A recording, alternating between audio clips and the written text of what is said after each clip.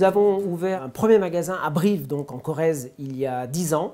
Et depuis trois mois maintenant, nous voici arrivés euh, dans le centre-ville de Brive. On avait une surface de 140 mètres carrés, là nous sommes passés à 200 mètres carrés et nous avons aujourd'hui du coup cinq expositions. Nous avons mis en, avant cette exposition dans laquelle nous nous trouvons, qui est une Novalac avec euh, de la hardwood, donc c'est un mélange d'une laque sombre et d'un bois assez, assez sympa. Nous proposons un service clé en main à tous nos clients. Nos clients viennent ici et euh, on part vraiment d'un schéma euh, basique et jusqu'à une, pause sur des cuisines complètement intégrées, sur mesure, où on, apporte beaucoup de, conseils. Et il s'avère que lorsque des clients viennent nous voir avec des idées euh, préconçues, souvent on leur explique les tendances, comment ça fonctionne, les pièges à éviter, et on arrive à tirer notre épingle du jeu en justement proposant des, solutions parfaitement adaptées à leurs contraintes et à et à leur motivation, à ce qu'ils ont envie aussi. Ce qui peut plaire chez Nolt en particulier, euh, c'est effectivement qu'on a